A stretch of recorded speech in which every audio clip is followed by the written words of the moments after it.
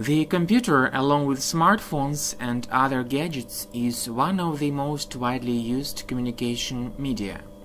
Today there are very few users who use computer without a webcam. And there are many users who ask a question, can somebody get access to video camera without user's consent?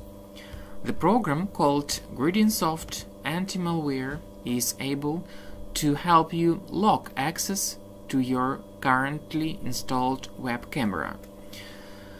To go to this feature and to enable it, you first need to go to the Protect tab in Gridinsoft Anti-Malware and then you need to enable scanning removable devices.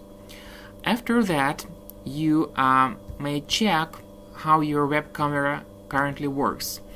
We have opened the uh, camera application and now we click on this button to disable camera.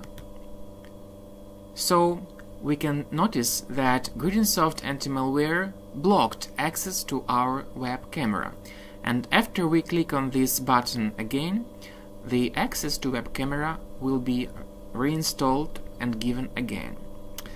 So this feature might be very handy for you to use and protect your web camera from unauthorized use.